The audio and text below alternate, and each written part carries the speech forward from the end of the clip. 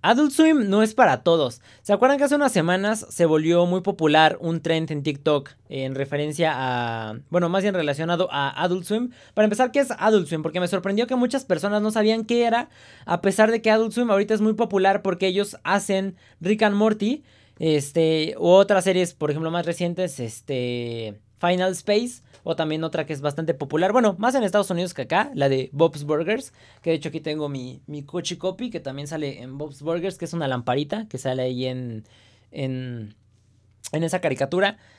Y este, Adult Swim se originó originalmente como un bloque de programación nocturna de origen estadounidense orientado para adolescentes y adultos. Eh, este era emitido por diferentes eh, diversas cadenas de Warner Media, porque Warner son dueños de Adult Swim, dependiendo del país. Por ejemplo, aquí en México era emitido en Cartoon Network y creo que en MTV, no me acuerdo muy bien de eso, pero creo que en MTV. Es que era, eran tiempos raros antes, me acuerdo que antes también pasaban Bob Esponja en MTV y como yo pensaba que, bueno, MTV tenía muchos programas que, bueno, más bien todo era música y era para adolescentes, ¿no? Pero tenían programas pues que eran igual caricaturas para adultos como La Casa de los Dibujos, South Park y así. Entonces yo pensaba que el Bob Esponja que pasaba en MTV pues iba a decir groserías o algo así, pero no era un Bob Esponja normal. Entonces, no sé, eran tiempos donde la programación era rarona. Algunos de los programas que salían en Adult Swim, por ejemplo, eran Aqua Teen Hunger Force, que era como una. como las aventuras de una bola de carne para hamburguesa, un refresco y unas papas fritas y vivían ellos como que en una casa y eran como unos pues eran como unos, no es que no eran como unos hippies, dan de cuenta que eran como unos marihuanos que vivían así. Entonces, este, estaba ese programa, estaba Harvey Berthman, que era como un abogado, estaba The Break Show y también estaba Robot Chicken, entre muchos más. Este último Robot Chicken es como un Matt, que Matt es una, algo que comenzó originalmente como una revista que hacía parodias de diferentes personajes de la cultura pop, actores, personajes de caricaturas, de shows y así, pero que después lo hicieron una una caricatura que también la pasaron en Cartoon Network.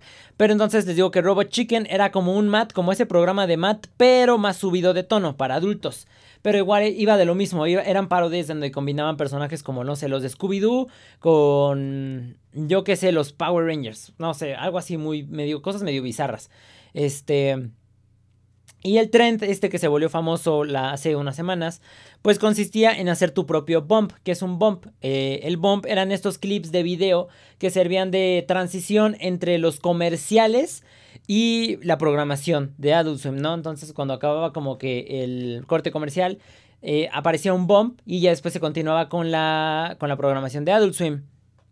Y la neta, yo creo que es de los mejores este, trends que han salido en TikTok. O sea, había unos muy creativos. O sea, el chiste de este bump era, no sé, por ejemplo, hacías... Hay unos que le ponían texto que por ejemplo decían como de lávate los dientes o consejos así saludables algunos hacían este o duerme temprano no te desveles este cuando recuerda que o por ejemplo otros que eran como frases como de desmotivaciones que sea cuando estés triste recuerda que hay alguien peor que tú no o recuerda que podrías estar peor y después alguien hacía algo y se veían las letras de AS, que pues es Adult Swim.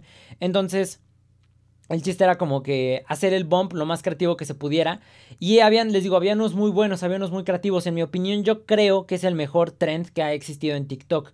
O sea, entre los de que son bailar mendigas canciones de El Alfa y todas esas basuras. Yo creo que este trend de Adult Swim fue lo mejor que ha tenido TikTok. Y probablemente será lo mejor que tenga TikTok. Este. Y ya les digo, con ese trend, pues mucha gente no conocía que era Adult Swim. Y pues mucha gente empezó a investigar Adult Swim, qué tranza, qué onda. Y pues también con eso pues empezaron a investigar la, la programación de Adult Swim. Y por ejemplo, entre, entre esa programación que empezaron a investigar, pues la gente como que se ofende muy fácil.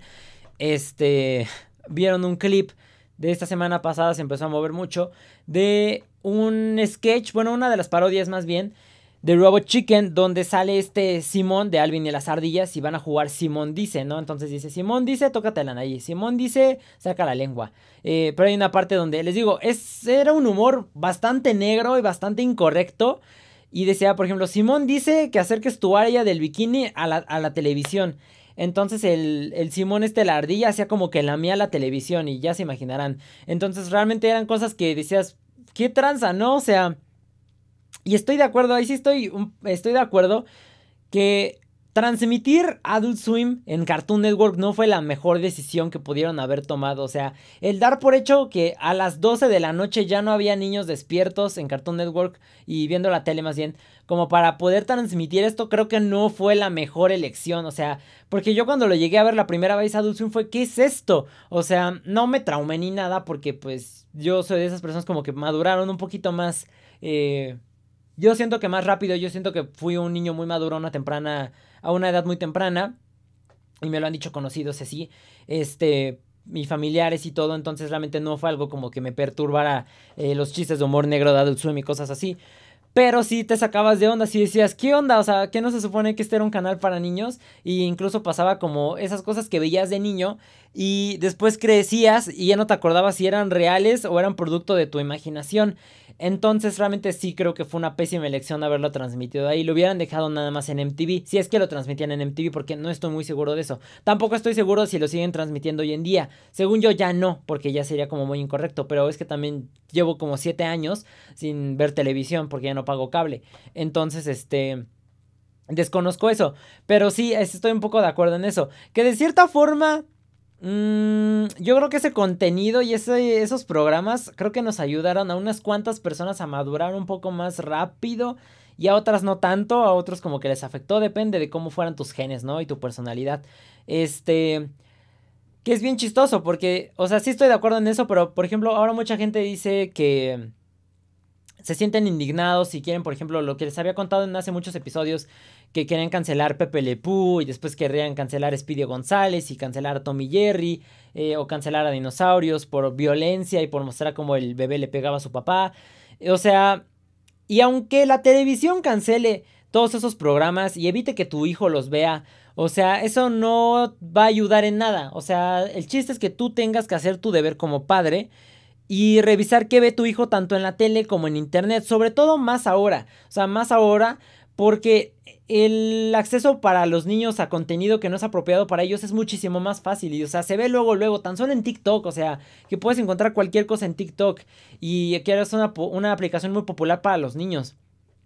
Y, es eso, pero muchos papás quieren dejar esa responsabilidad en la televisión y en el contenido que viene así, pero pues no es todo, o sea, tienes que hacer tu chamba.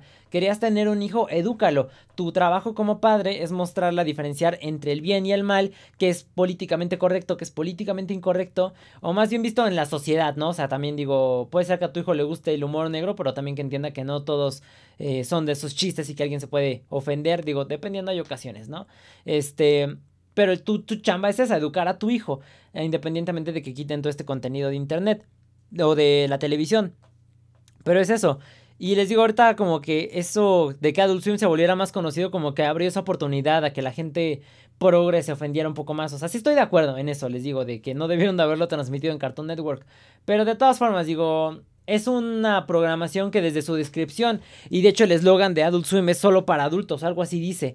Este, entonces, pues Digo, también revisa que tu hijo que está viendo en internet. Digo, también para empezar, TikTok creo que es una aplicación para mayores de, de tal edad que tienes que tener para estar en esa, en esa mm, plataforma. De hecho, ven, por ejemplo, a mí me, me, cerraron mi en vivo hace dos semanas porque según era menor de edad y los menores de edad no pueden hacer eh, transmisiones en vivo. yo como de, ah, ya tuve que mandar mi, mi credencial y así, pero tu, tu trabajo como papá es revisar qué ve tu hijo.